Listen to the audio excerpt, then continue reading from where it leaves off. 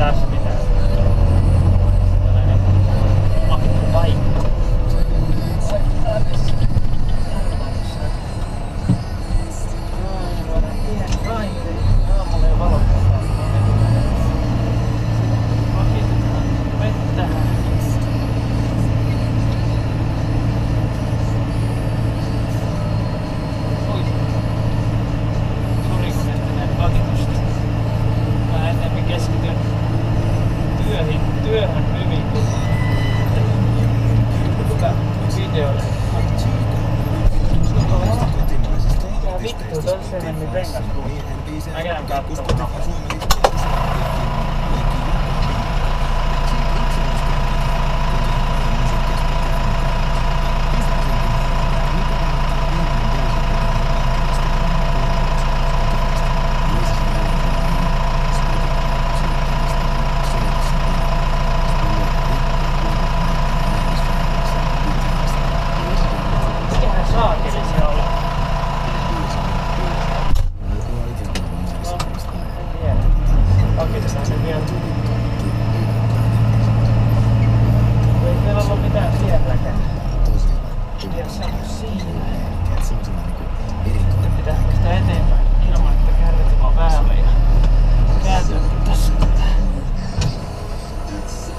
on muuten koulu.